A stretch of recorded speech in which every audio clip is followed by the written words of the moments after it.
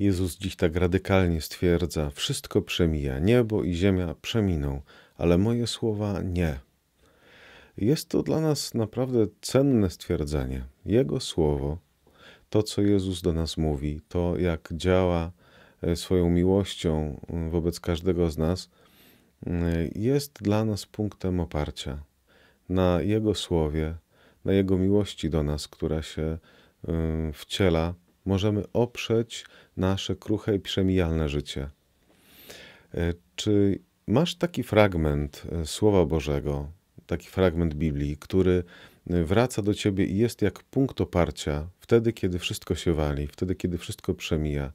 Czy jest takie słowo, które pomaga ci, jak kamizelka ratunkowa, utrzymać się na powierzchni falującego świata? Jeśli tak, to wróć dzisiaj do niego. A jeśli brakuje ci takiego słowa, to wołaj o nie. Słowo Chrystusa y, daje się człowiekowi poznać. Ono nie jest do stworzenia, ono jest do odkrycia, ponieważ chce się objawić. A objawiając siebie, objawia jednocześnie sens. Wołajmy więc dzisiaj o słowo, które da naszemu życiu sens.